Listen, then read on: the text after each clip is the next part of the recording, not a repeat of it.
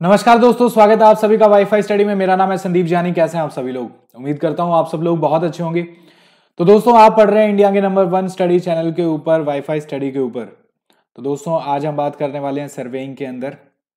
Scales के बारे में।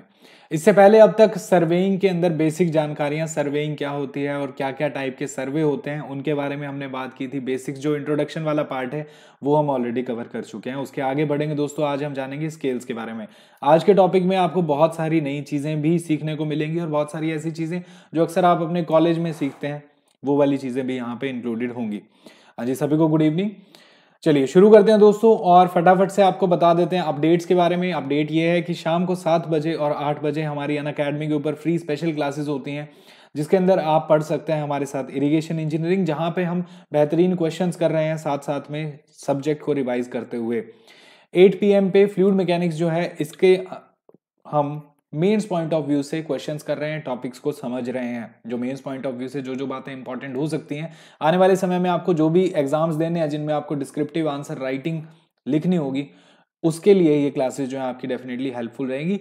और चाहे आप प्री के पॉइंट ऑफ़ व्यू से पढ़ें, चाहे मेंस के पॉइंट ऑफ़ व्यू से पढ़ें सब्जेक्ट तो टॉपिक तो वही है कॉन्सेप्ट तो वही है। कैसे उनको ऑब्जेक्टिव में यूज़ करना है, कैसे सब्जेक्टिव में यूज़ करना है, ये डिफरेंस जो है आ जाता है। अगर आप अन अकेडमी ऐप पर नए हैं तो आपको वहाँ पर कोड यूज़ करना होगा दोस्तों। अनलॉक कोड आपसे पूछा जाएगा। ये सब्सक्रिप्शन के लिए नहीं है, ये फ्री क्लासेस एक्सेस करने के लिए अनलॉक कोड आपसे पूछा जाएगा। तो आपको यूज़ करना है संदीप डबल वन इसके अलावा दोस्तों, आपको बता देते हैं टाइम टेबल जो हमारी क्लासेस का, वो क्या चल रहा है? सिविल इंजीनियरिंग की जो क्लासेस हैं। सिविल 101 पर सुबह आठ बजे क्लास होती है सॉइल मैकेनिक्स, जिसमें हम पढ़ रहे हैं, और वाईफाई स्टडी जो मेन चैनल है, उस पर रात को 10 बजे हमारी क्लास होती है। And these classes are from Monday to Friday ठीक है? ये क्लासेस कहाँ से कहाँ तक? Monday to Friday YouTube session हमारे होते हैं, ठीक है? इसके अलावा, अन अकेडमी की ऐप के ऊपर हमारी सब्सक्रिप्शन बेस्ड जो क्लास चलती है, वो है सुबह 10 बजे एस एस सी सिविल के लिए हम पढ़ रहे हैं जिसके अंदर, और यहाँ जो सब्जेक्ट चल रहा है वो स्ट्रेंथ ऑफ़ मटेरियल्स है। अगर आप ये सब्जेक्ट पढ़ना चाहते हैं तो आपको अन अकेडमी ऐप डाउनलोड करनी होगी। आपको अपना गोल सेलेक्ट करना है एसएससी एग्ज़ाम्स और उसके बाद आपको गेट सब्सक्रिप्शन पे क्लिक करना है। ड्यूरेशन सेलेक्ट करनी है। एक साल के लिए चाहिए, दो साल के लिए चाहिए, कितने ड्यूरेशन के लिए सब्सक्रिप्शन चाहिए? जितनी ड्यूरेशन के लिए आप सब्सक्रिप्शन लेंगे, उतनी ड्यूरेशन तक आपके पास जितना भी कंटेंट है, जितने भी कोर्सेज हैं जिनमें आप एनरोल कर रहे हैं, वो आपके पास सारा अवेलेबल रहेगा। पीडीएफ कंटेंट्स रहेंगी टेस्ट रहेगा, सब कुछ रहेगा। इसके अलावा दोस्तों, अगर आप चाहते हैं गेट और ईएससी e की तैयारी करना तो आप वहाँ पे गोल सेलेक्ट कर सकते हैं अपना get and ESC get subscription पे क्लिक करेंगे ड्यूरेशन सेलेक्ट करेंगे then you will use the code Sandeep double one अब दोस्तों, बात करते हैं प्रिंसिपल्स ऑफ़ सर्वेइंग की। सर्वेइंग है क्या? ये हम ऑलरेडी बात कर चुके हैं। तो प्रिंसिपल्स ऑफ़ सर्वेइंग की हम बात करते हैं। तो पहला प्रिंसिपल आपको क्या कहता है? कि working from whole to part पूरे से पार्ट्स की तरफ़ चलना, ठीक है? सर्वेइंग का प्रिंसिपल क्या कहता है? Working from whole to part कोई भी एक एरिया है जिसके ऊपर आप सर्वे करना चाहते हैं तो उसके आप आउटर जो मेन कंट्रोल पॉइंट्स हैं, ऐसे पॉइंट्स जो इस एरिया को डिफाइन करेंगे, इस एरिया की बाउंड्रीज के ऊपर है मेन कंट्रोल पॉइंट्स जो हैं, वो आप ले लीजिए और उनको हाई प्रिसीजन के साथ लेके चलना है। जो आउटर वाले पॉइंट्स होंगे, वो हाई प्रिसीजन के साथ लेंगे। फिर फर्दर आप इस एरिया को क्या करो छोटे छोटे ट्राइंगल्स के अंदर छोटे छोटे आप इसके अंदर आगे पार्टीशन आप इनके कर सकते हो, उसको ताकि इनके अंदर जो भी आप सर्वेइंग करें, वो जो एरर हो, वो वहीं पे लोकलाइज्ड रहे। वो एरर जो है, वो वहीं पे लोकलाइज्ड रहे। बाकी दूसरे जो आपने एरिया लिए हैं, बाकी जो दूसरे आपने कंपोनेंट्स लिए हैं, उनको वो इफ़ेक्ट ना करें। तो जो एरर है, वो लोकलाइज्ड हो जाए उसमें। तो हम पूरे से पार्ट्स की तरफ़ चलेंगे। Working from whole to part we are moving from work whole to part ठीक है? सिंपल सी बात है। तो working from whole to part में आपको ये समझना है कि जो एरर है उसको लोकलाइज करना है। एक पर्टिकुलर रीजन में ही रहे, उतने ही एरिया में रहे। ट्राइंगुलेशन कर लेते हैं हम इसके अंदर और छोटे छोटे जो नेटवर्क्स हैं उसके अंदर हम उसको ब्रेक डाउन कर रहे हैं। बाहर वाले जो कंट्रोल पॉइंट्स होंगे उनको हम हाई एक्यूरेसी के साथ या हाई प्रिसीजन के साथ लेके चलेंगे। ठीक है? अब ये बात हो गई दोस्त, पहला प्रिंसिपल और डायरेक्टली ऑब्जेक्टिव क्वेश्चंस में आपसे पूछता है। दूसरा प्रिंसिपल आपको क्या कह रहा है? Locating a point by at least two points कोई भी एक पॉइंट लोकेट कर रहे हैं तो उसके लिए दो पॉइंट्स ऑफ़ रेफरेंस या फिर दो मेजरमेंट्स आप कम से कम लेते हैं। अब जैसे कि कुछ एग्ज़ाम्पल मैं आपको बताता हूँ, फिर कुछ एग्ज़ाम्पल आप मुझे बता दीजिएगा। पहला एग्ज़ाम्पल मैं अगर आपको दू यहाँ पे तो एक पॉइंट पी है, एक पॉइंट क्यू है, और ये दोनों पॉइंट्स जो है आपको पता होने चाहिए, दो पॉइंट्स जो है रेफरेंस के आपको पता होना चाहिए। तभी तो आप बता पाएँगे कि पॉइंट आर जो है वो कहाँ पे है। अब आप कोई एक पॉइंट आर है, उसको कैसे डिफाइन करोगे? पॉइंट आर जो है, वो हमारा ये कह लीजिए कि जो वो वाला पॉइंट है, जो हमें लोकेट करना है। तो आप बताएँ आर कहाँ पे है? तो आप ऐसे तो नहीं कह सकते कि आर जो है, सिर्फ़ अगर इतना बोल दें कि पी से दो किलोमीटर पे है तो पी से दो किलोमीटर वो तो किसी भी डिस्टेंस पे हो सकता है, ऊपर नीचे 360 डिग्री कहीं भी हो सकता है। अगर आप सिर्फ़ ये बोल दें कि वो क्यू से फाइव किलोमीटर पे है तो भी कहीं भी हो सकता है वो। लेकिन अगर आप ये बोलते हैं कि पी से टू किलोमीटर, क्यू से फाइव किलोमीटर। दो कंडीशंस आप बता रहे हैं ना उसको, दो रेफरेंस पॉइंट्स आप कम से कम उसको बता रहे हैं। तो जब आप इस तरीके से उसको डिफाइन करते हैं कि आपके पास पी क्यू ऑलरेडी है और आपने ये बोल दिया कि वो पी से कोई पर्टिकुलर डिस्टेंस पे है लेटर से एक्स डिस्टेंस पे क्यू से कोई पर्टिकुलर वाई डिस्टेंस पे है तो आप एक्यूरेटली इस पॉइंट के ऊपर पहुँच जाओगे। कैसे पहुँच जाओगे? बचपन में हम करते थे ना मैथमेटिक्स में। आप रेडियस बना लो, जहाँ पे ये दोनों पॉइंट्स इंटरसेक्ट हो जाए। आपने कहा कि Q से Y डिस्टेंस पे है। तो Q पे आप ना कंपस रख के एक आर्क बना लो Y वाली। फिर इसी तरीके से P पे कंपस रख के X डिस्टेंस की एक आर्क बना लो, जहाँ पे ये इंटरसेक्ट हो जाएँगी, ये वो वाला R पॉइंट आपको मिल जाएगा। तो इन दो रेफरेंस पॉइंट से आपने R को लोकेट कर लिया, ये एक तरीका हो गया। और बहुत सारे तरीके हो सकते हैं, आप कैसे बता सकते हैं? एक और तरीका क्या हो सकता है? ये पॉइंट P आया था। ये पॉइंट आपके पास Q आया था। तो पॉइंट पी और क्यू तो वो रेफरेंस पॉइंट्स हैं जो आपको ऑलरेडी पता है। पॉइंट पी और क्यू आपको ऑलरेडी पता है। अब आर को आपको लोकेट करना है। आर वो पॉइंट है जो टू बी लोकेटेड है। तो आर पॉइंट को आप यहाँ पे देखिए कैसे लोकेट करेंगे। आर पॉइंट को आप ये कह सकते हैं पी और क्यू को ज्वाइन करवा दो। और फिर यहाँ से एक परपेंडिकुलर लेके आप बता सकते हो कि पी क्यू लाइन के ऊपर एक परपेंडिकुलर लेंगे तो सो एंड सो डिस्टेंस के ऊपर लेटर से यहाँ पे इस डिस्टेंस को कह देते हैं जेड डिस्टेंस के ऊपर हमें आर मिल जाएगा। इस तरीके से भी तो आप बता सकते हो कि पी क्यू के ऊपर बिल्कुल परपेंडिकुलर अगर आप लेंगे तो उसके परपेंडिकुलर डायरेक्शन में जेड पे ये मिल रहा है आपको। पी और क्यू से आप डिस्टेंसेस भी यहाँ से डिफाइन कर सकते हो कि पी से आपको एक्स चलना है, या फिर क्यू से आपको वाई चलना है, जब आप इस पॉइंट पे पहुँच जाओगे, फिर वहाँ से आपको आर परपेंडिकुलर जो है वो चलना है। इस तरीके से भी आप इसको डिफाइन कर सकते हो।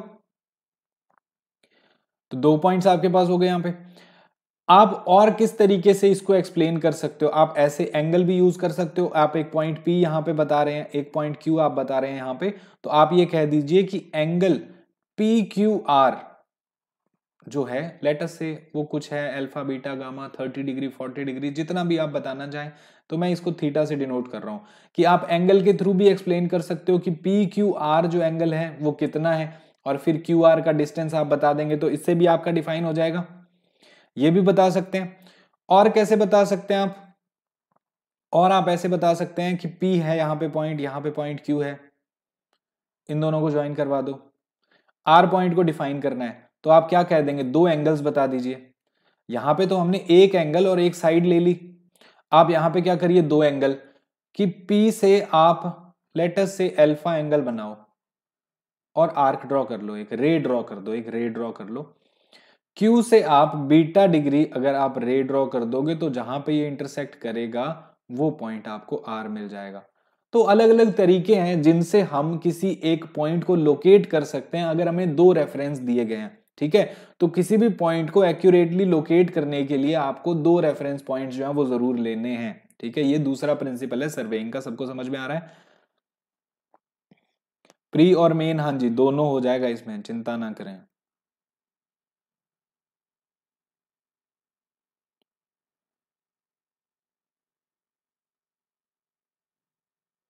ठीक है? तो ये जो प्रिंसिपल्स हैं अलग अलग जो आपके, चलिए। तो ये जो प्रिंसिपल हम यूज़ कर रहे हैं locating a point by at least two points of reference आप अलग अलग जो सर्वेइंग करेंगे, आप ट्रावर्स बनाएँगे, वहाँ पे अगर बात करें, अगर आप चेन सर्वेइंग करेंगे, वहाँ पे हम बात करें एंगुलर सर्वेइंग की अगर हम बात करें तो ये जो मैंने आपको तीन चार एग्ज़ाम्पल बताए हैं, ये आपकी अलग अलग टाइप्स ऑफ़ सर्वेइंग के अंदर यूज़ करेंगे। आप जब भी आपको कोई पॉइंट को लोकेट करना है बाय यूजिंग टू रेफरेंस चाहे आप दो डिस्टेंसेस से कर रहे हैं, चाहे दो एंगल से कर रहे हैं, या फिर आप परपेंडिकुलर लेके कर रहे हैं, कैसे भी आप कर रहे हैं। ठीक है?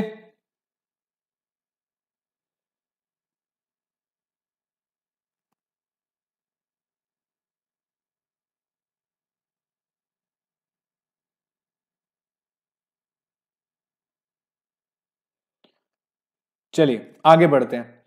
उसके बाद बात आती है दोस्तों यूनिट्स ऑफ़ मेज़रमेंट की।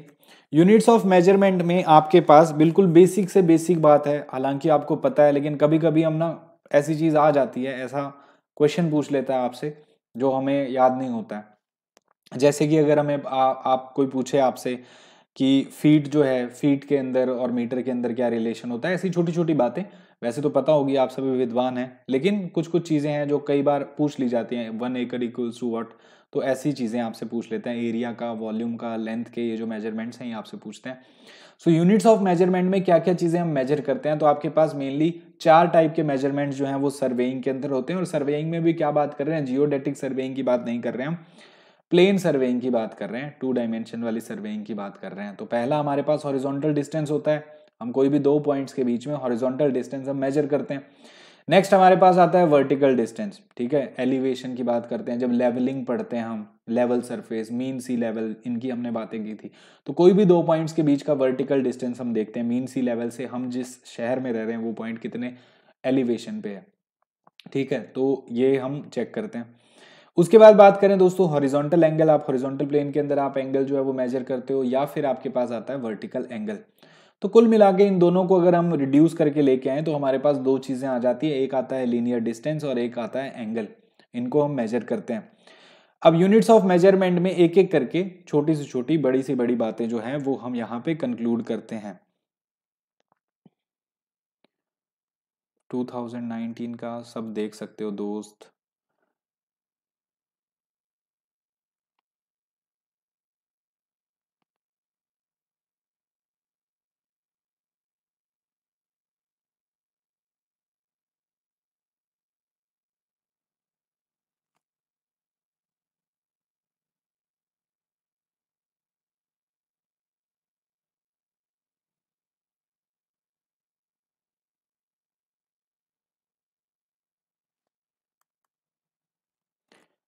आप सभी को वीडियो दिखाई दे रही है?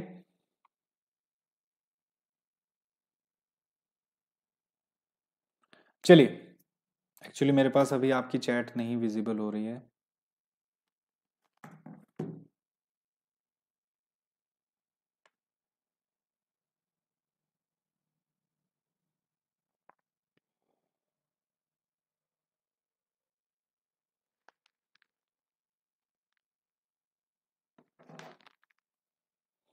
ओके सिंपल से सिंपल क्वेश्चन मैं आप सभी से पूछता हूँ। आप बताइए। सबसे पहली बात यूनिट्स ऑफ़ मेज़रमेंट में okay everything is visible to you but मुझे चैट आपकी दिखाई नहीं दे रही थी। ओके लेट अस बिगिन तो आप पहले ये बताइए कि एक फीट के अंदर, अगर हम बात करें सिंपल से सिंपल बातें सिंपल क्वेश्चंस में आपसे पूछूँगा। One feet equals to how much inches ये तो आप सभी को पता ही होगा one feet equals to how many inches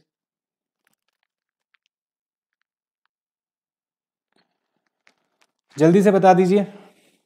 देखिए ड्राइंग के बारे में तो आपको मैं ज़्यादा नहीं बताऊँगा यहाँ पे, लेकिन मैं हाँ ये ज़रूर बता दूँगा आपको स्केल्स जो हैं डिफरेंट टाइप्स ऑफ़ स्केल्स वो हम ज़रूर डिस्कस करेंगे और उनकी रीडिंग्स कैसे लेनी है, वो भी।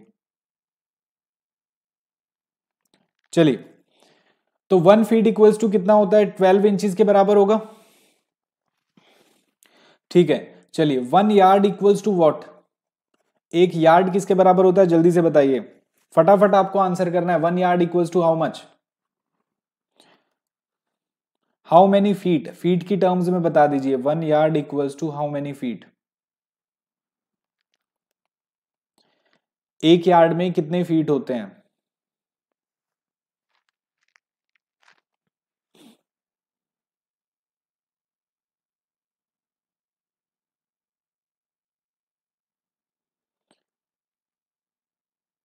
ट्वेल्व इंच तो ठीक है one yard equals to three feet होते हैं। फिर आपको बताना है 166 फीट लॉन्ग चेन इसके अंदर कितने लिंक्स होंगे? वन एक चेन है जिस, जो कि 66 फीट लॉन्ग है। उसके अंदर कितने लिंक्स होंगे? जल्दी से बताइए।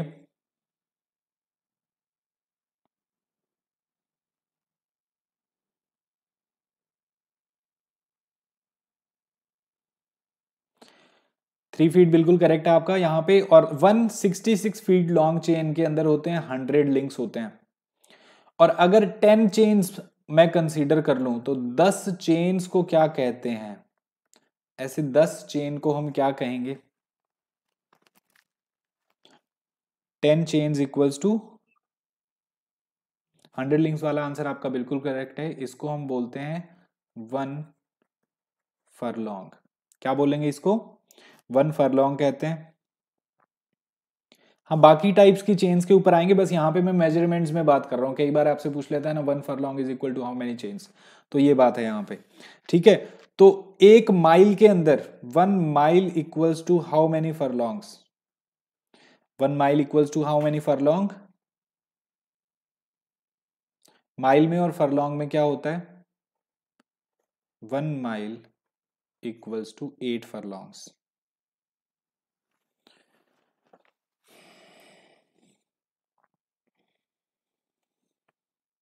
ठीक है?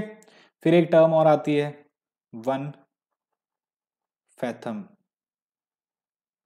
वन फैथम किसके बराबर होता है? 166 फीट में नहीं है मेरे भाई, एक चैन है 66 फीट की।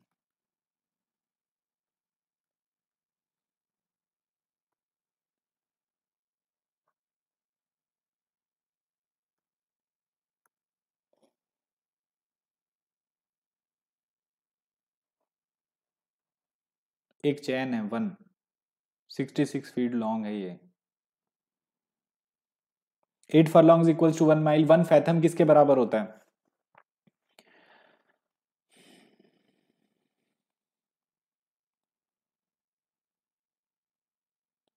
One fathom is equal to six feet. One fathom equals to six feet के बराबर आ जाएगा। ये कुछ कठिन कठिन शब्द थे जो आपको याद रखने हैं। पहली बार सुना वर्ड कोई बात नहीं। बहुत सारी चीज़ें ज़िंदगी में पहली बार होती हैं। One nautical mile is equal to how many feet one nautical mile is equal to how many feet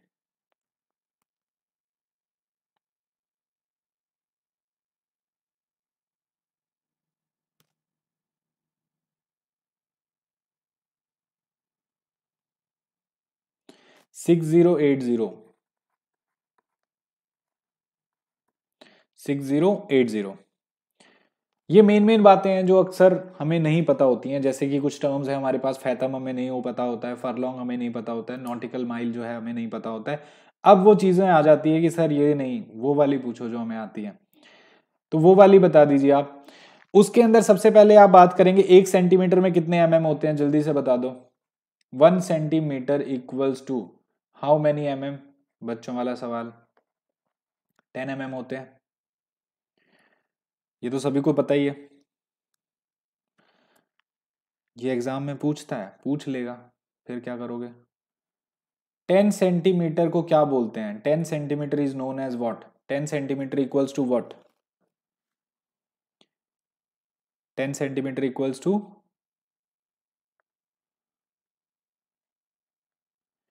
one, क्या? Ten centimetre equals to one?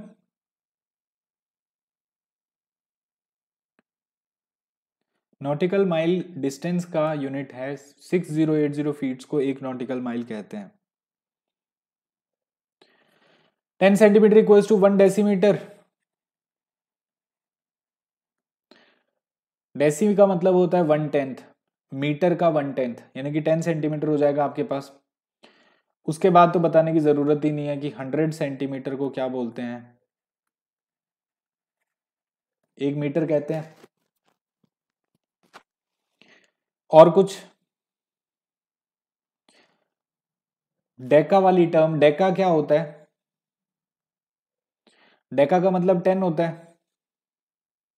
Deci और डेका में अंतर है। अगर आप लिखते हैं वन डेका मीटर तो वो किसके बराबर होगा? वन डेकामीटर जो है वो टेन मीटर्स के बराबर हो जाएगा।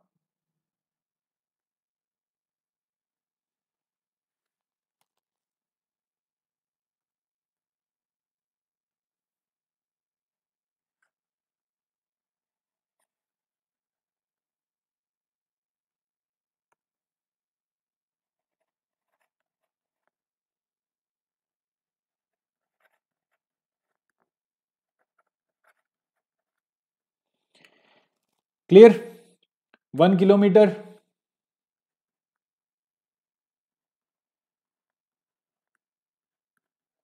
ये तो बताने की ज़रूरत ही नहीं है। वन हेक्टोमीटर किसके बराबर होता है? One hectometre equals to how many decametre यहाँ पे fill in the blanks dash decametre is equals to one hectometre. बताइए। हेक्टोमीटर क्या है? हाँ वही मैं आपसे पूछ रहा हूँ, हेक्टोमीटर क्या है? One hectometre equals to ten decametres, correct.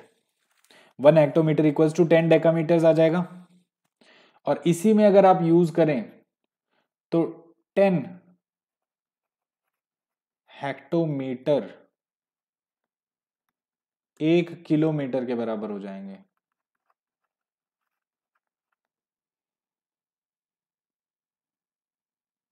ठीक है?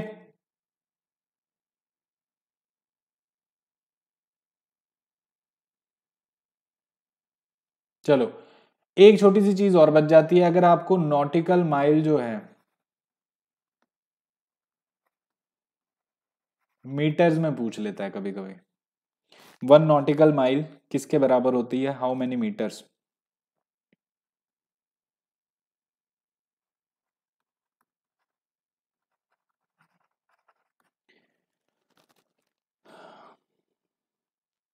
S S C JE mains की क्लास की कब से शुरू होगा? प्लीज़ बताइए। S S C JE mains की क्लास अगर आपको करनी है तो शाम को सात बजे आप पढ़ सकते हैं हमारे साथ अन अकेडमी के ऐप के ऊपर जहाँ पे फ्लूड मैकेनिक्स पढ़ रहे हैं हम। साथ ही साथ में अभी जो सर्वेइंग चल रहा है, ये प्री मेन सब कुछ है इसमें। तो ये भी पढ़ सकते हैं आप।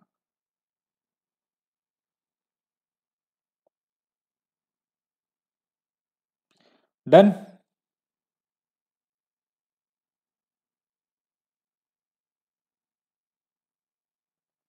चलो।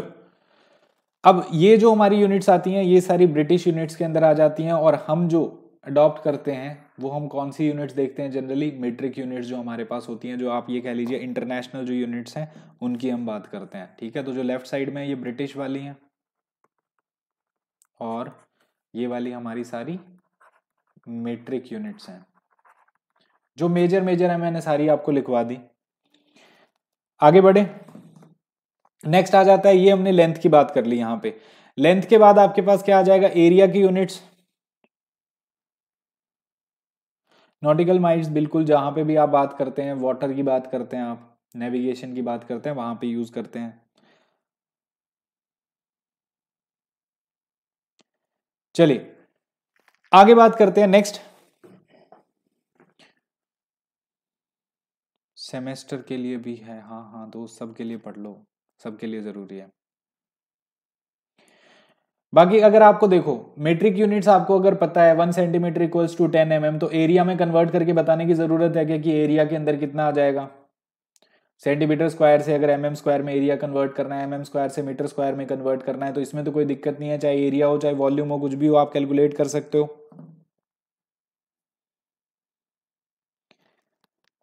कर सकते हो ना? एक फुट के अंदर अगर बारह इंचेस हैं तो वन फीट स्क्वायर किसके बराबर होगा? Twelve into twelve one forty four ये कैलकुलेशंस तो करवाने की ज़रूरत नहीं है आपको। बताइए जल्दी से।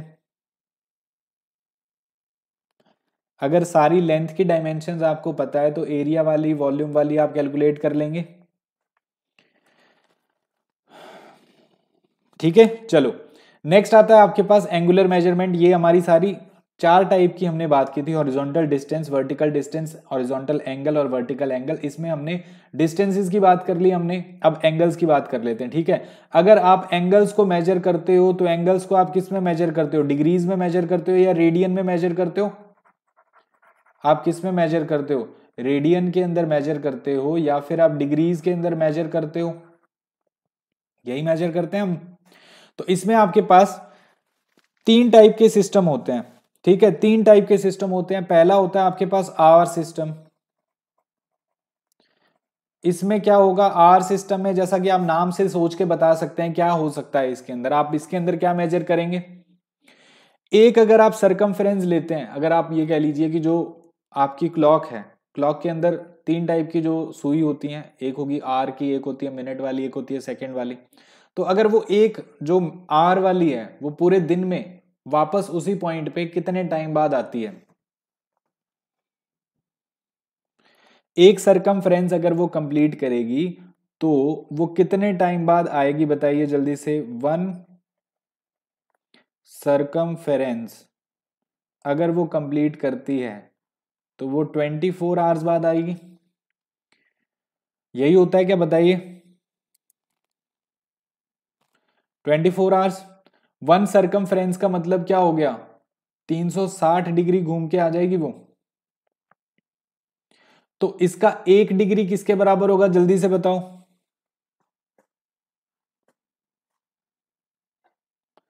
अरे, जल्दी से बताइए। एक सरकमफ्रेंस टाइम की फॉर्मेट में हम बता रहे हैं बस, ठीक है? आपको टाइम की फॉर्मेट में बताना है। One circumference equals to twenty four hour हो गया।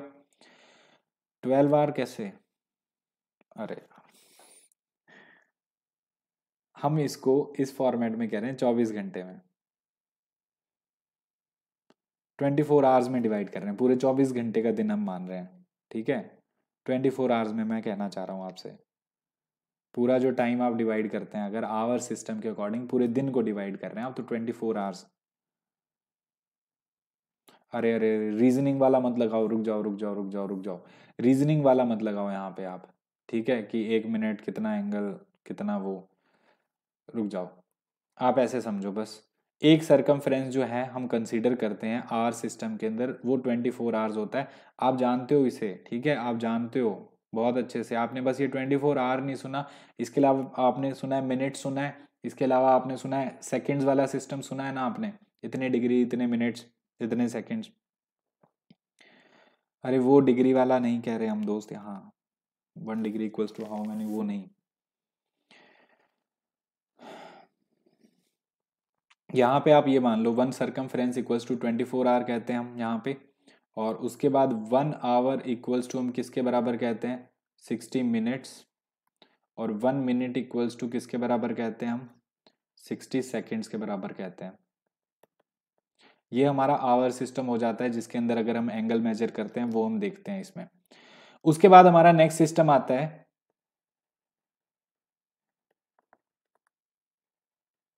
Sexagesimal system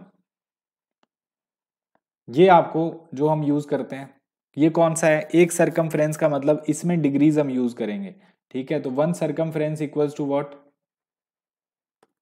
one circum equals to 360 degree एक सरकम में आप 360 डिग्री यूज़ कर रहे हैं। तो 360 डिग्री अगर आपके पास वन सरकम है तो यहाँ से आप अलग अलग बता सकते हैं अगर एक डिग्री किसके बराबर हो जाएगा? एक डिग्री किसके बराबर होगा बताइए?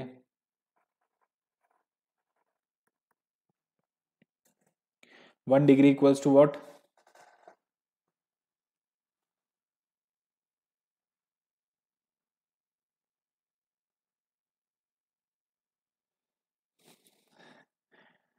हम पूछना ये चाहते हैं कि अगर एक सरकम बना दी तो उस आर्क जैसे आप कहते हो, ये 360 डिग्री है तो ये 360 डिग्री हो गए ना इस आर्क के।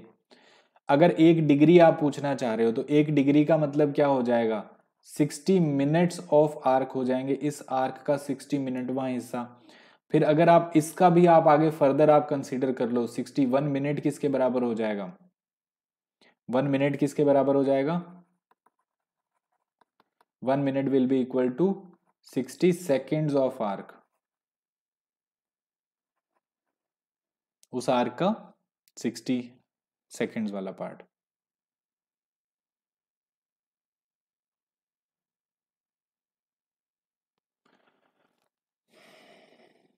चले आगे। एक हमारे पास सेंटीसीमल जो होता है मेथड वो भी होता है, उसके अंदर हम सरकमफ्रेंस ग्रेड सेंटीग्रेड वो यूज़ करते हैं, वो हमारे इतना काम का नहीं है मेनली ये दो है और इसमें भी हम ये वाला यूज़ करते हैं, जिसके अंदर हम डिग्री मिनट सेकंड ये हम पढ़ते हैं, ठीक है? आगे बढ़ते हैं। तो हमारे जो काम का है दैट इज़ मोस्ट इंपॉर्टेंट ये वाला, जो आप जानते हैं बहुत अच्छे से। अगर ये अलग से नहीं समझ आ रहा वन ट्वेंटी फोर आवर क्या है सिक्सटी मिनट क्या है सिक्सटी सेकेंड्स क्या है, इसको रहने दो। सेक्सा जैसिमल आपको समझ आना चाहिए। तीन सौ साठ डिग्री एंगल हम जो कंसिडर करते हैं, एक सर्किल है तो उसका अगर पूरा सरकमफेरेंस घूम लिया तो 360 डिग्री हो गया। अगर आप डायामीटर के अलॉन्ग बात कर रहे हैं तो 180 हो गया। ये वो जो बचपन से आप लोग जानते हैं। तो अब आगे बढ़ते हैं दोस्त।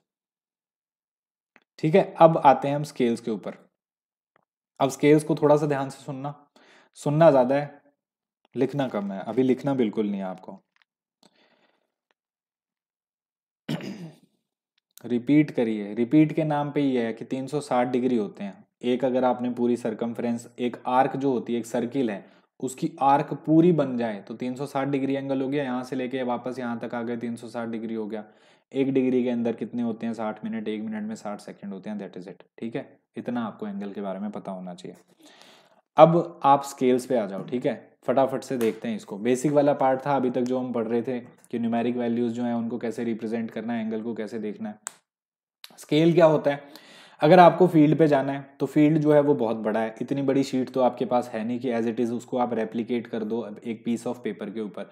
तो आपको क्या करना पड़ेगा, उसको एक पर्टिकुलर रिलेशन बनाना पड़ेगा। आपको एक रिलेशन बताना पड़ेगा कि आप अगर शीट के ऊपर पेपर के ऊपर, अगर आप कोई एक लाइन रिप्रेजेंट कर रहे हैं ए बी एक्चुअल में फ़ील्ड के ऊपर वो लाइन ए बी जो है, मान लीजिए बहुत बड़ी है, कई मीटर्स में हंड्रेड्स ऑफ़ मीटर्स में है अगर तो उसको पेपर पे रिप्रेजेंट अगर आप कर रहे हैं तो आप इसको बताएँगे कि मैं एक सेंटीमीटर जो ड्राइंग के अंदर मैं लिख रहा हूँ ड्राइंग का मेरा एक सेंटीमीटर जो है, वो फ़ील्ड के लेटर से हंड्रेड मीटर के बराबर होगा। तो ये मैंने क्या कर दिया, ये एक मैंने स्केल बता दिया, ये मैंने क्या कर दी स्केलिंग कर दी। तो स्केलिंग बहुत ज़्यादा इंपॉर्टेंट है। जब भी आप प्लॉट करेंगे, कोई प्लान बना रहे हैं आप या कोई मैप बना रहे हैं तो उसके लिए स्केल जो है वो बहुत ज़्यादा इंपॉर्टेंट हो जाता है। अब स्केल दो तरीके से आएगा आपके पास, ठीक है?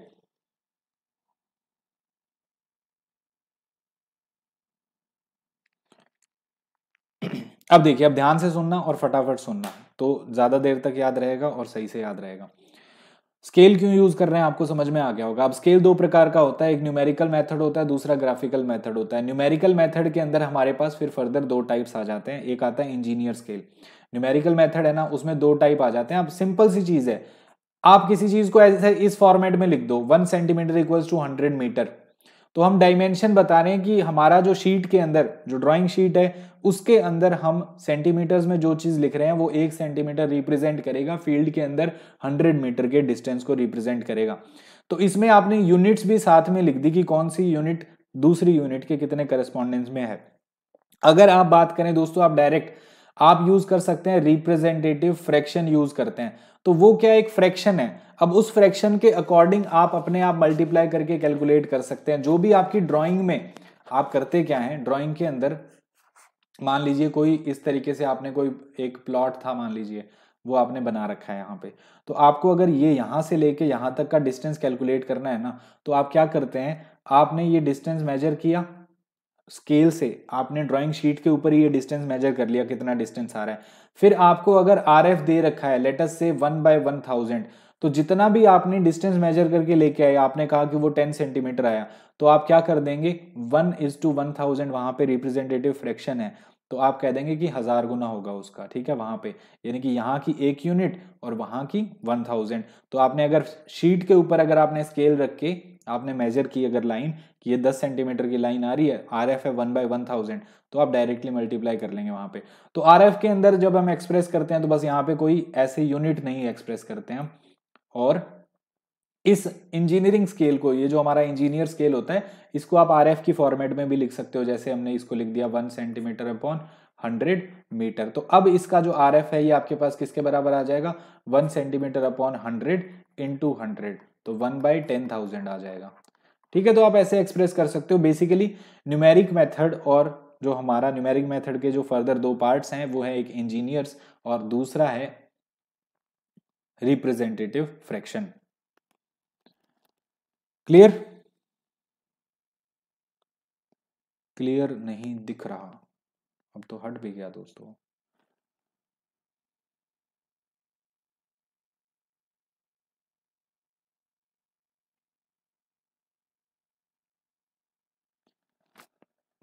न्यूमेरिक मेथड के दो मेथड हैं। एक तो आप किसी चीज़ को ऐसे एक्सप्रेस कर दो।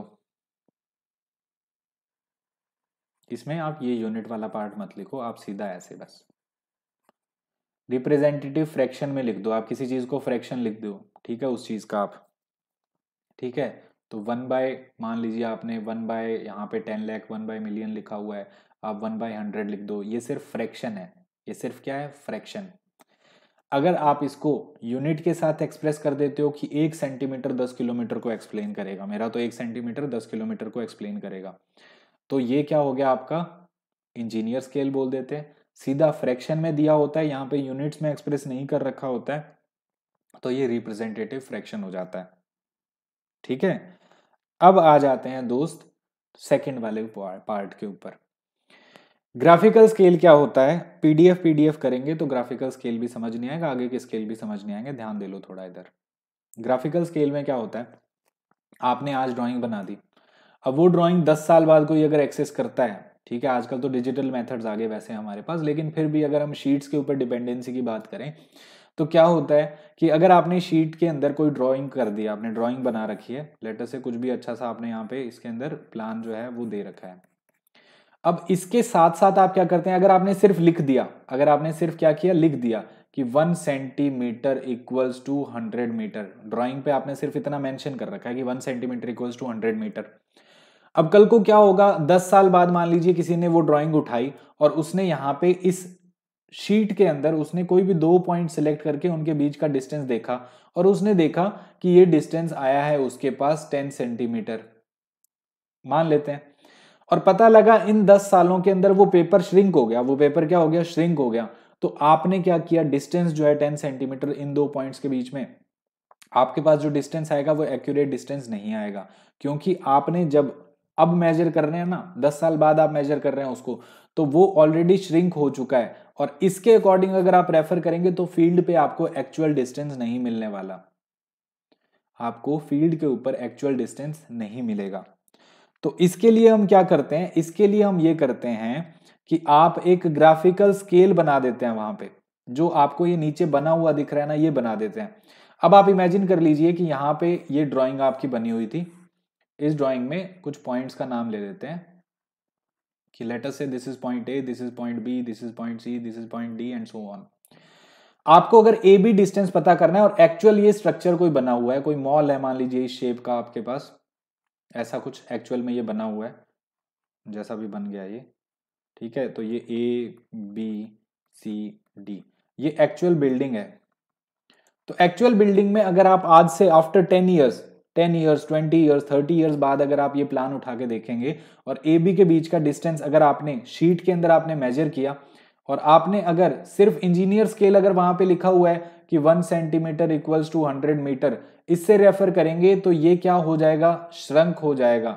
ये श्रंक हो जाएगा तो आपको एक्चुअल रीडिंग ये नहीं देगा। तो यहाँ पे एक्चुअल में ये श्रिंक हो गई है साइज़ तो वन सेंटीमीटर जितनी भी आपकी ये लेंथ आई वो लेंथ लेटर से 10 सेंटीमीटर कैलकुलेट किया आपने तो वो एक्चुअल में 10 सेंटीमीटर नहीं है। वो 11 थी, मान लेते हैं 11 होगी कि एक साल में वो श्रिंक होकर 10 तक आ गया। इतना होगा नहीं, मान लीजिए 10 सालों में, लेकिन फिर भी मान लेते हैं कि 11 सेंटीमीटर था और वो 10 सेंटीमीटर श्रिंक होकर आ गया। आपने मेजर कर लिया 10 और आपने कहा कि एक सेंटीमीटर हंड्रेड मीटर को रिप्रेजेंट कर रहा है तो टेन इंटू आप कर दो हंड्रेड लेकिन एक्चुअल डिस्टेंस उससे ज़्यादा था। तो ऐसे केस में हम क्या करते हैं? ग्राफिकल स्केल बना देते हैं। इसी के ऊपर यहीं पे हम क्या करेंगे? इस जगह पे आपने क्या किया? ये जो ग्राफिकल स्केल आपको नीचे बना हुआ दिख रहा है, ये ग्राफिकल स्केल बना देंगे। इसी पे आप एक्सप्रेस कर दीजिए कि आपका एक सेंटीमीटर जो है वो किसको रिप्रेजेंट कर रहा है। ठीक है? तो मैंने तो यहाँ किलोमीटर्स का एग्ज़ाम्पल ले रखा है। आप यहाँ पे ये लिख लीजिए सेम जो अभी हम उसका एग्ज़ाम्पल की बात कर रहे थे कि one centimetre equals to hundred metre को रिप्रेजेंट कर रहा है। One centimetre equals to hundred metre यहाँ पे आ जाएगा आपके पास one centimetre equals to 200 metre two centimetre equals to 200 metre. जब ये ग्राफिकल स्केल प्रेजेंट होगा ना, अगर वहाँ पे तो ये ग्राफिकल स्केल भी साथ में क्या होगा? श्रिंक कर जाएगा। ये भी तो एक टाइप की ड्राइंग है। तो जब वो पेपर पूरा श्रिंक करेगा तो ये भी श्रिंक कर जाएगा साथ में। तब हम यहाँ से मेजर करेंगे कि उस टाइम का जो एक सेंटीमीटर था, वो इतना था। तो आप यहाँ से मेज़रमेंट लेके, फिर ये ए बी डिस्टेंस मेजर करेंगे और फिर उसके अकॉर्डिंग आप कैलकुलेट करेंगे। तो आपकी कैलकुलेशन एक्यूरेट आएगी। ठीक है? तो हम क्या कह रहे हैं? ग्राफिकल स्केल के केस में क्या होगा? जो आपने ग्राफिकल स्केल ड्रॉ कर दिया, वो ग्राफिकल स्केल भी श्रिंक हो जाएगा उसी प्रोपोर्शन में, जिस प्रोपोर्शन में ये ड्राइंग श्रिंक हुई है। तो आप इस, इसको यूज़ करेंगे एक स्केल की तरह। इसको यूज़ करेंगे आप एक स्केल की तरह, ये मान लीजिए आप यहाँ पे। तो अब ये ज़ीरो टू वन सेंटीमीटर है, ये भी उतना ही श्रिंक होगा जितना ए से बी के बीच में हर एक सेंटीमीटर श्रिंक हो रहा है। तो इससे आपको कैलकुलेशन जो है वो एक्यूरेट मिलेगी। बस इतना सा डिफरेंस होता है कि graphical scale has the advantages over over numerical scale such that distance on the plan और map can be determined by actual scaling even though the plan और मैप इज़ श्रंक श्रंक होने पर भी ये हो जाएगा। ठीक है? आगे बढ़ते हैं। In case of shrinkage of map, graphical scale also changes with the map, therefore the ratio is unaffected. Types of scale पे आ जाते हैं।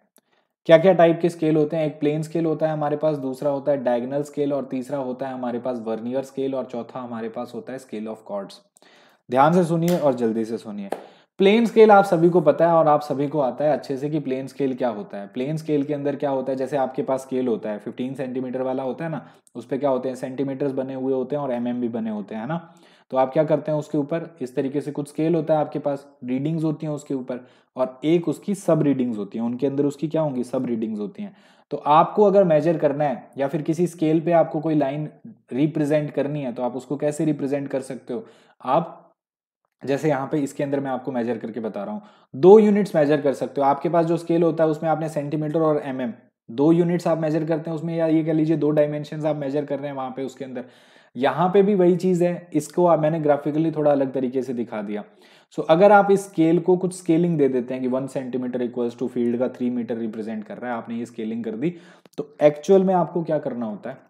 आप ड्राइंग जब लेते हैं, आपने इंजीनियरिंग ड्राइंग में ये पढ़ा होगा कि अगर one centimetre equals to three metre दे रखा है तो मान लेते हैं कि आपको फ़ील्ड पे जैसे इसने कहा कि 47 मीटर आपको रिप्रेजेंट करवाना है तो आप ये मान लीजिए कि मेरा एक ऐसा स्केल होना चाहिए जो कम से कम नाप दे, कितना डिस्टेंस नाप दे?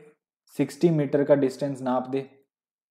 अगर आपसे सवाल में ये कहा गया कि एक ऐसा स्केल बनाओ, अब ये इंजीनियरिंग जो आपके कॉलेज में काम आने वाली चीज़ है, लेकिन समझ में ले, समझ लेंगे तो आपके कंपटीशन में भी काम ही आएगी।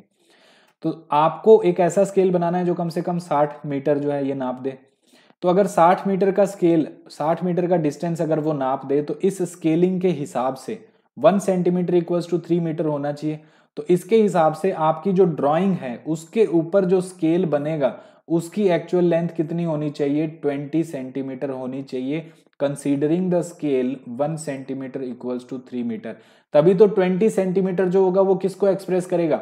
ये 20 सेंटीमीटर का जो स्केल आप एक्चुअल में 20 सेंटीमीटर जो ड्राइंग पे बना देंगे स्केल की ड्राइंग बना देंगे यहाँ से यहाँ तक जो इसकी लेंथ है, वो 20 सेंटीमीटर बना देंगे। तभी तो ये फ़ील्ड के 60 मीटर तक के डिस्टेंस को मेजर बता कर बता सकता है वहाँ पे। तो आपने क्या किया? ये रिप्रेजेंट कर लिया। तो एक one centimetre equals to three metre के डिस्टेंस को स्केल को यूज़ करने के लिए आपने यहाँ पे 20 सेंटीमीटर एक्चुअल में शीट के ऊपर 20 सेंटीमीटर आपने यहाँ पे डिपिक्ट कर लिया। ये ऐसे यहाँ से लेके यहाँ तक स्केल बना दिया। लेफ़्ट वाला पोर्शन है, इसको छह इक्वल पार्ट्स में डिवाइड कर दो। इसको सिक्स इक्वल पार्ट्स में आप डिवाइड कर दीजिए। सिक्स इक्वल पार्ट में डिवाइड किया और सबसे लेफ़्ट वाला जो पोर्शन है आपके पास, सबसे लेफ़्ट वाला पोर्शन ये वाला इसको आप टेन पार्ट्स में सब डिवाइड कर दो। जो यहाँ पे सब डिवाइडेड दिख रहे हैं ना आपको अलग अलग तो इनको सब डिवाइड कर दो। अब क्या करना है आपको? 47 मीटर का डिस्टेंस मेजर करना है तो 40 से ज़ीरो तक आओगे तो 40 हो गया। आगे सब डिविजन में सात ने मेजर कर लो बस। आप क्या करोगे? 40 से ज़ीरो तक आओगे तो 40 आगे साथ में मेजर कर लो। तो दोनों चीज़ें बता दी, एक जो बताने की ज़रूरत नहीं है कि डिस्टेंस कैसे मेजर करते हैं, आप स्केल से आपको सबको पता है कैसे मेजर करते हैं। उसमें एक सेंटीमीटर वाला होता है क्या एम वाला होता है, वो बेस्ट एग्ज़ाम्पल है हमारे पास प्लेन स्केल का। अगर कॉलेज में या फिर कभी कहीं पे ऐसा पूछ ले कि प्लेन स्केल जो है वो कैसे बना रहे हैं तो ऐसे बनाते हैं। नेक्स्ट बात करते हैं दोस्तों, आगे। सेकेंड टाइप का स्केल हमारे पास आता है डायगनल स्केल डायगनल स्केल जो है वो थोड़ा सा दिखने में खतरनाक होता है, लेकिन होता बड़ा प्यारा है। डायगनल स्केल जो है वो तीन डायमेंशन बताता है। जैसे कि किसी भी चीज़ की यूनिट फिर उसका टेंथ मतलब टेंथ वाला पार्ट फिर उसका हंड्रेड वाला पार्ट तीन चीज़ें जो है वो आपको बताएगा। जैसे कि अभी थोड़ी देर पहले हमने बात की थी कि जैसे अगर आप मीटर में, फिर उसके डेसीमीटर के अंदर या सेंटीमीटर सो मीटर, फिर उसका टेंथ पार्ट फिर उसका भी टेंथ पार्ट सेंटीमीटर तो ऐसे जब आपको एक्सप्रेस करना हो तो आप क्या कर सकते हो? थ्री डायमेंशन आप यहाँ पे बता रहे हो तो उसके लिए आप क्या यूज़ करते हो? डायगनल स्केल आप यूज़ करते हो। तो डायगनल स्केल कैसे ड्रॉ करते हैं, उसको भी देखते हैं। बेसिकली डायगनल स्केल के अंदर हम क्या करते हैं, किसी भी लाइन जो है, उसका बहुत ही छोटा कॉम्पोनेंट हम डिवाइड करके पता कर सकते हैं। कैसे? जैसे एक लाइन पी क्यू कंसिडर कर लिया आपने। इस पी क्यू लाइन को आपको 10 इक्वल पार्ट्स में डिवाइड करना है। तो इस पी क्यू लाइन को 10 इक्वल पार्ट में आप डिवाइड करेंगे तो कैसे करेंगे? एक परपेंडिकुलर ड्रॉ कर लो क्यू आर क्यू आर एक परपेंडिकुलर ड्रॉ कर लिया आपने एक सुटेबल लेंथ की। और उसके बाद क्या करो, इस क्यू आर लाइन जो है, इसके बाद पी से आर को भी ज्वाइन करवा दो। पी से आर को ज्वाइन करवा दी। क्यू आर को 10 इक्वल पार्ट्स में डिवाइड कर दो और पी क्यू के पैरेलल लाइंस ड्रॉ करो। इस तरीके से।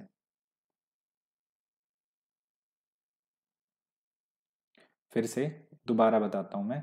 क्या करो, अगर आपको पी क्यू के वन टेंथ पोर्शन बताने हैं, आपको इस पी क्यू लाइन के वन बाई टेन वाले हिस्से बताने हैं कि कितने होंगे, ठीक है? इसका वन टेंथ कितना होगा? तो आप क्या करो पी क्यू लाइन ड्रॉ करो क्यू से एक परपेंडिकुलर ले लो आर फिर पी आर को ज्वाइन कर दो। क्यू आर को, जो क्यू आर लाइन है, इसको टेन इक्वल पार्ट्स में डिवाइड करके पी क्यू के पैरेलल लाइंस खींच दो। क्यू आर को टेन इक्वल पार्ट्स में डिवाइड करके पी क्यू के पैरल लाइंस ड्रॉ कर दो। अब ये आपके पास सेक्शन आ गए one one two two three three four four and so on ये जो आपके पास वन वन लेंथ आई है, ये रिप्रेजेंट करेगी one by ten of P Q two two length represent करेगी two by ten of P Q three three represent करेगी three by ten of P Q and so on तो इस P Q की one tenth portion हमने कर दिया इस तरीके से हम किसके केस में कर सकते हैं? डायगनल स्केल को हम यूज़ कर सकते हैं। अब डायगनल स्केल जो आपने आपने इंजीनियरिंग ड्राइंग के अंदर पढ़ा होगा, उसको ड्रॉ करना सीखते हैं। आपको एक डायगनल स्केल बनाना है one centimetre equals to three metre का, और वो रीडिंग दिखा दे thirty three point three metre की। तो मैं फिर से वही बात बोलूँगा कि मैं एक ऐसा स्केल बना लेता हूँ जो कम से कम साठ मीटर का डिस्टेंस नाप ले। तो अगर 60 मीटर का डिस्टेंस नापेगा और स्केल आपको ये दे रखा है कि one centimetre equals to three metre तो मेरी ड्राइंग शीट के ऊपर मैं क्या करूँगा? एक 20 सेंटीमीटर की लेंथ कंसीडर कर लूँगा। 20 सेंटीमीटर की लेंथ कंसीडर करूँगा तो one centimetre equals to three metre तो यहाँ पे आपके पास क्या आ जाएगा? 60 मीटर की लेंथ को ये रिप्रेजेंट कर सकता है। तो इसीलिए मैंने 20 सेंटीमीटर की लेंथ जो है वो कंसीडर कर ली यहाँ पे। So take a length of 20 centimetre and divide it in into six equal parts each part representing 10 metre हर एक पार्ट 10 मीटर को रिप्रेजेंट करेगा। तो मैंने क्या किया?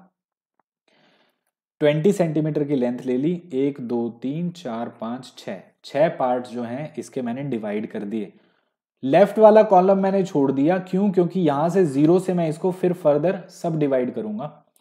राइट right में मैंने ज़ीरो से ten twenty thirty forty fifty and so on मैंने ऐसे कंसीडर कर लिए।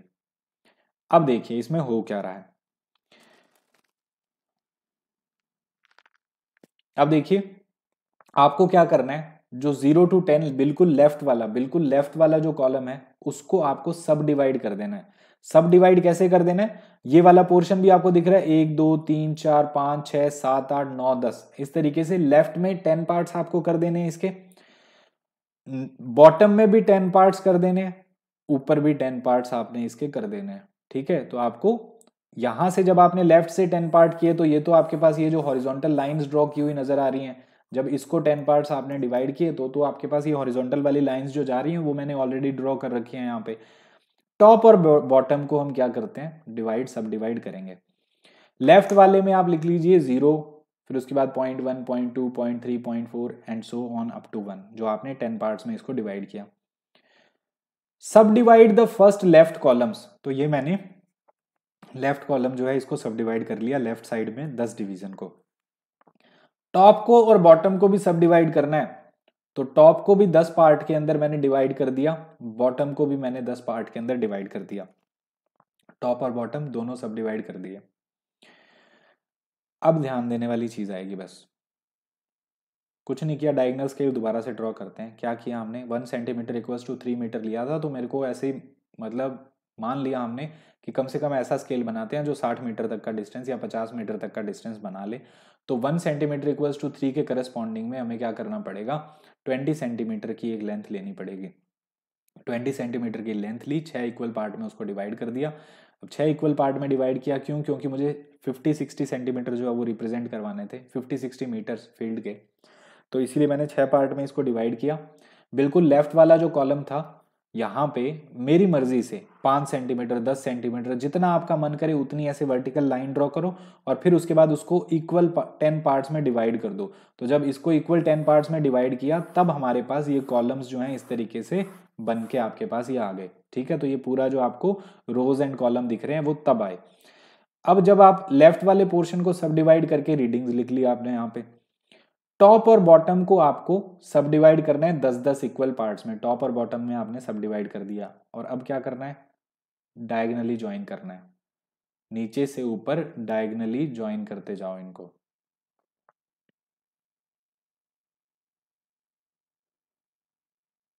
खत्म, बन गया। समझ में आ रहा है?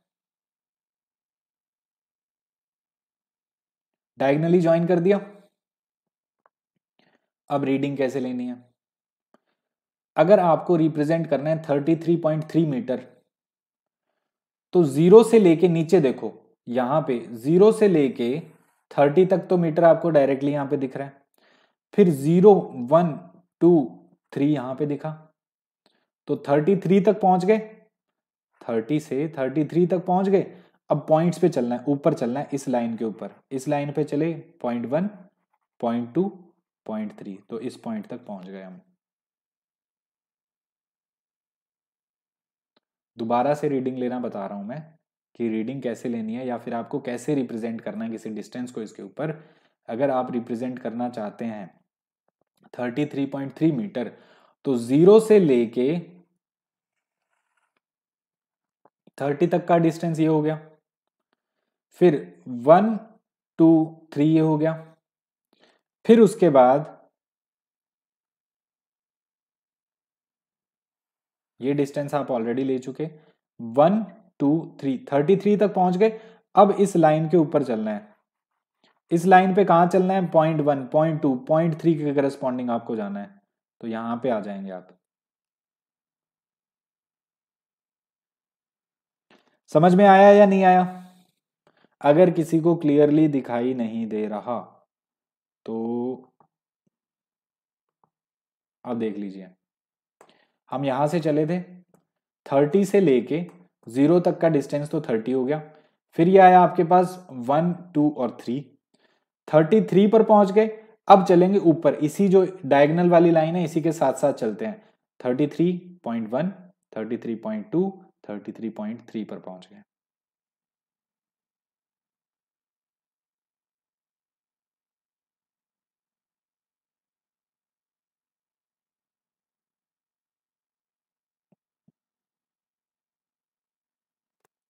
समझ में आया?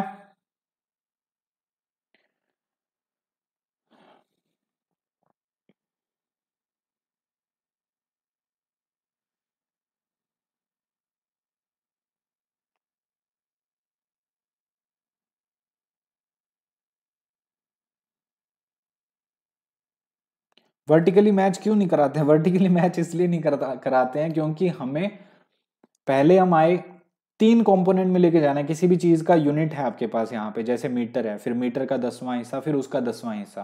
तो आपको बार बार वन टेंथ करवाना है, इसीलिए इसको डायगनली मैच करवाया हमने। कि पहले टेन टेन का गैप आपको दिखाई दे रहा है, यहाँ पे ज़ीरो से दस मीटर दस से बीस मीटर बीस से तीस मीटर फिर उसके बाद हमने क्या किया? ज़ीरो से दस जो है, उसको फर्दर सब डिवाइड कर दिया हमने one two three four five six और फिर one two three four five six था, उसके बीच में point one point two point three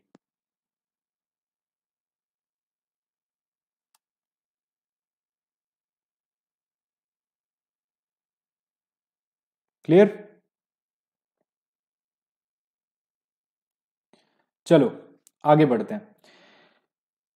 next आता है आपके पास वर्नियर स्केल। वर्नियर स्केल हमने पहले भी पढ़ा हुआ है, ठीक है? तो थोड़ा आसान रहेगा। वर्नियर स्केल का प्रिंसिपल क्या होता है? वर्नियर स्केल का प्रिंसिपल ये होता है कि कोई भी आपके पास बहुत सारी लाइंस होती हैं, कोई भी आपके पास बहुत सारी लाइंस है तो उन लाइंस में से हम फटाफट कौन सी लाइन को रिकॉग्नाइज कर लेते हैं? ये लाइंस हैं आपके पास। इनमें से फटाफट हमारी जो आईज हैं, उन लाइंस को फटाफट रिकॉग्नाइज कर लेती हैं, जो एक लाइन में आती हैं। जो एक लाइन में आएँगी, उनको हम फटाफट रिकॉग्नाइज कर लेते हैं। जैसे कि इसमें आपको ये वाली दिखाई दे रही है। हैंड ड्रॉन ये लाइंस है तो थोड़ा सा आपको ऐसा लग रहा होगा। तो हमारा जनरली ऐसा होता है ह्यूमन आई जो होती है, वो एक सेम वर्टिकल लाइन में जो लाइंस आ रही होती हैं या लाइंस जो कॉइंसाइड कर रही होती हैं, चाहे वो कितनी छोटी हो, उनको हम जल्दी पकड़ लेते हैं, उनको जल्दी हम रीड कर पाते हैं एज कंपेयर टू बाकी लाइंस जो होती हैं हमारी। ठीक है? बाकी रीडिंग्स जो हम लेते हैं। ठीक है? तो देखो वर्नियर जो है वो क्या एक ऐसा डिवाइड एक ऐसा डिवाइस है, जो कि किसी पर्टिकुलर लेंथ की जो यूनिट आप मेजर कर रहे हैं, उसका भी फ्रैक्शन वाला पार्ट आपको बता देगा। उसका भी फ्रैक्शन वाला पार्ट आपको बता देगा। जैसे कि अगर जो आपका मेन स्केल जो रीडिंग बता रहा है, लेटर से सेंटीमीटर में बता रहा है सो इसका भी फ्रैक्शनल पार्ट आपको कौन बताएगा? Vernier scale. इसका भी फ्रैक्शनल पार्ट, जो सबसे छोटी यूनिट है, उसका भी फ्रैक्शनल पार्ट कौन बताएगा आपको? वर्नियर स्केल बताएगा। तो एक मेन स्केल होता है, एक आपका साथ में क्या होता है? वर्नियर स्केल या जो ऑक्सिलरी स्केल है, इसके साथ में जो स्केल चलता है, और इसका प्रिंसिपल क्या है कि हमारी जो आँख है, वो बिना कोई स्ट्रेन के या बिना जो है ज़ोर डाले, हम कोई भी दो लाइंस जो एक दूसरे के ऊपर कोइंसाइड हो रही हैं, उनको हम जल्दी से देख लेते हैं। जो कोइंसाइड होके एक स्ट्रेट लाइन बना रही है, ठीक है, उसको हम देख लेते हैं। अब वर्नियर स्केल के अंदर क्या होता है? एक तो एक तरफ़ होगी आपकी मेन स्केल रीडिंग्स होंगी, और दूसरी तरफ़ आपके पास होंगी वर्नियर वाली रीडिंग्स यानी कि एक जो स्केल है, इसके ऊपर मेन स्केल रीडिंग और इसके ऊपर होगी आपकी वर्नियर वाली रीडिंग अब वर्नियर अलग अलग टाइप का हो सकता है। अगर ग्रेजुएशन वर्नियर के ऊपर सिर्फ़ एक साइड पे है तो हम इसको कहते हैं सिंगल वर्नियर अगर ग्रेजुएशन जो है मेन स्केल पे, वो दोनों डायरेक्शन में है तो हम क्या कहेंगे उसको? डबल वर्नियर हम उसको कह देते हैं। अभी मैं आपको इमेजेस दिखाऊँगा तो आपको और बेटर क्लियर हो जाएगा। कितनी छोटी यूनिट फाइन कितनी फाइननेस है रीडिंग के अंदर, उसको हम क्या कहते हैं? लीस्ट काउंट कहते हैं। फाइननेस ऑफ़ रीडिंग और लीस्ट काउंट क्या होता है? Difference between smallest division on main scale and smallest division on vernier vernier scale जो है, उसका लीस्ट काउंट अगर हम कहें, या लीस्ट काउंट जो है वो क्या होता है? लीस्ट काउंट जो होता है, वो डिफरेंस होगा स्मॉलेस्ट डिवीज़न जो मेन स्केल पे बना हुआ है और स्मॉलेस्ट डिवीज़न जो है वर्नियर स्केल के अंदर, उस पर अब हमने तो कोई और डेफिनेशन ही पढ़ रखी है तो जो हमने डेफिनेशन पढ़ रखी है, वो यहीं से डिराइव होके आएगी, ठीक है? उस डेफिनेशन पे भी आते हैं लीस्ट काउंट की जो डेफिनेशन हम जानते हैं। Division on the vernier can be little smaller than the main scale और a little larger than the main scale यानी कि मेन स्केल के ऊपर जितने डिवीज़न बने हुए हैं वर्नियर स्केल वाले डिवीज़न इनसे थोड़े छोटे भी हो सकते हैं या वर्नियर स्केल वाले डिवीज़न जो हैं, वो इनसे थोड़े बड़े भी हो सकते हैं। सो मेन स्केल से आपका जो वर्नियर वाले हैं, वो छोटे भी हो सकते हैं और वर्नियर वाले बड़े भी हो सकते हैं डिविजन इनको भी हम अभी देखेंगे। डायरेक्ट वर्नियर का आपके सामने यहाँ पे इमेज बना हुआ है। सिंगल टाइप का, डबल टाइप का। सिंगल टाइप के अंदर क्या है, आप देखिए, एक ही रीडिंग चल रही है मेन स्केल के ऊपर और वर्नियर के ऊपर यहाँ पे एक ही डायरेक्शन में। अगर आप देखेंगे डबल टाइप के अंदर, इमेज डबल वाली अब दिख रही होगी आपको कंप्लीट तो इसमें क्या चल रही है यहाँ पे? ये वाली थर्टी वाली रीडिंग जो है वो गलत है, सिक्सटी, सेवेंटी, एटी होगी ये।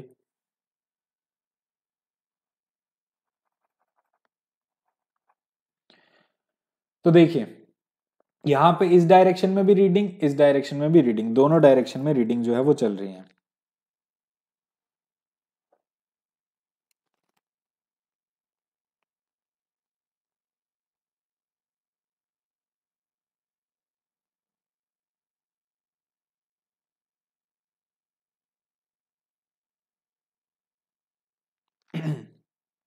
देखिए ग्रेजुएशन का मतलब है कि ये जो मार्किंग हो रखी है यहाँ पे, ये जो मार्किंग हो रखी है ना, ये ग्रेजुएशन है।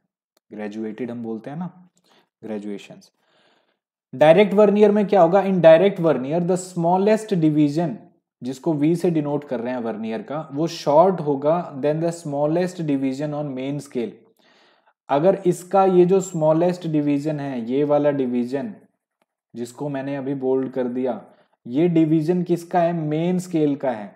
तो इसको अगर मैं एस से डिनोट करूँ, और वर्नियर का जो स्मॉलेस्ट डिवीज़न है, इसको अगर वी से डिनोट किया जाए तो ये जो वी है, वो क्या होगा? V is shorter than S ठीक है? वी शॉर्टर देन एस होगा। दोनों इमेज देख ली होगी आपने तो अभी मैं आ जाता हूँ।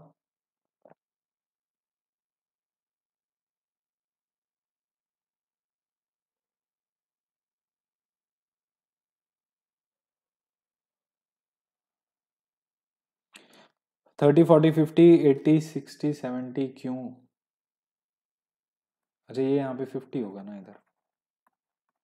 ये फिफ्टी, सिक्सटी, सेवेंटी, ऊपर थर्टी, फोर्टी, फिफ्टी, ये फिफ्टी होगा यहाँ पे। अब ठीक है। और ये स्केल कैसी, ये स्केल ऐसा होता है, ये दो टाइप के स्केल हैं, जिसमें रीडिंग ऐसी होगी, उसको direct vernier of single type बोलेंगे, जिसमें रीडिंग दो है, मेन स्केल पे भी दो है, वर्नियर पे भी दोनों डायरेक्शन में चल रही है तो इसको direct vernier of double type बोलेंगे।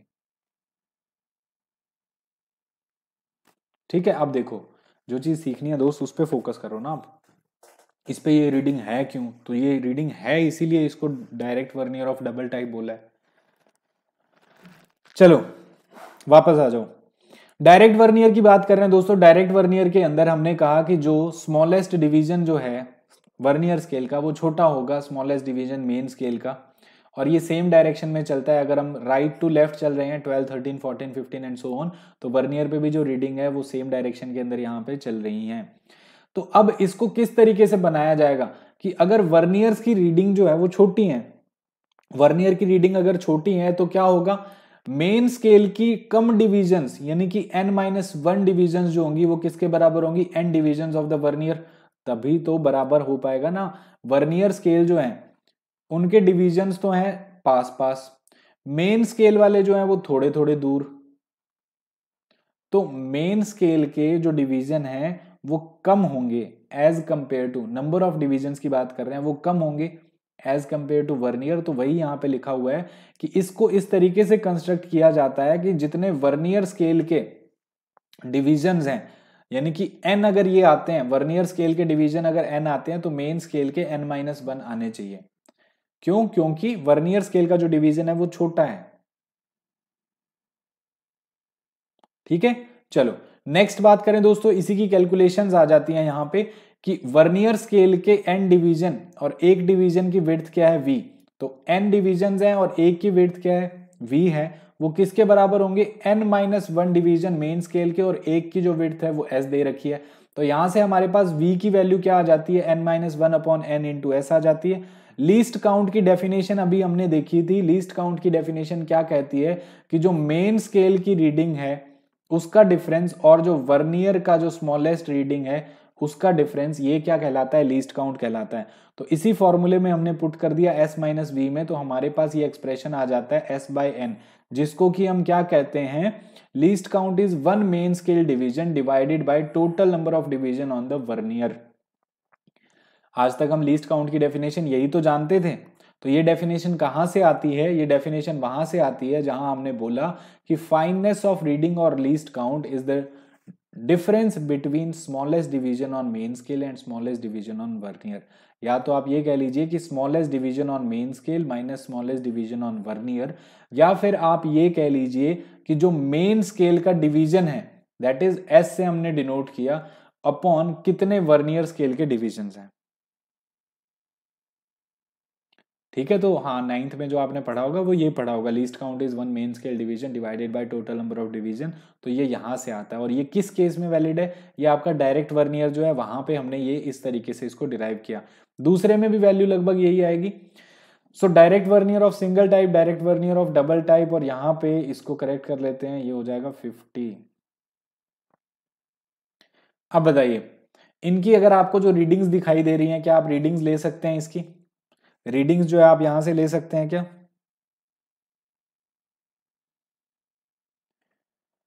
ये नेक्स्ट क्लास में कंटिन्यू करें इसको? अभी सर के टेक्स्ट आ रहे हैं। नेक्स्ट क्लास में इसको कंटिन्यू करते हैं स्केल्स को और एरर्स को, जो कि हमारी क्लास होगी कब? मंडे को।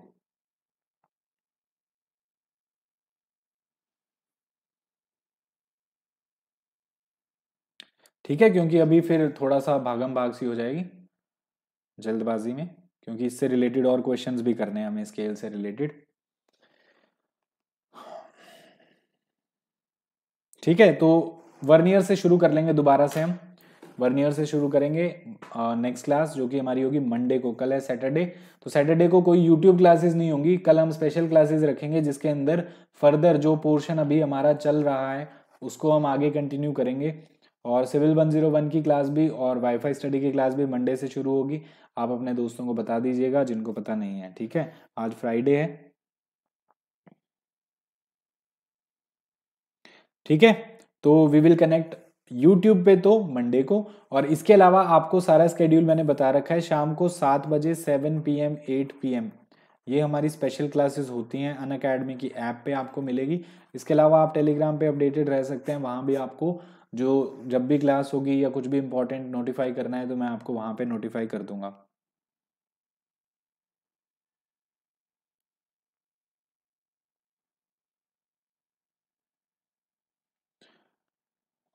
ठीक है हाँ प्लस बी और यूट्यूब कल नहीं है स्पेशल क्लासेस होंगे सैटरडे संडे को स्पेशल क्लास रखेंगे ओके इंपॉर्टेंट सेक्शन भी करवाना ऑब्वियसली ठीक है, अब सर्वे है तो सर्वे के अंदर भी सब कुछ कर रहे हैं हम सर्वे के अंदर सब कुछ हो जाएगा, आपका प्री मेन सब कुछ हो जाएगा। जितनी भी चीज़ें ज़रूरी हुए हैं हमारे लिए जानने। कई कई बार वर्नियर से रिलेटेड ऑब्जेक्टिव एग्ज़ाम्स में पूछ लेता है। तो ये सब हम इसीलिए पढ़ रहे हैं कि अगर कैसा भी सवाल कहीं से भी आ जाए तो हम सारी चीज़ें समझ के बैठे हैं आराम से आंसर कर पाए।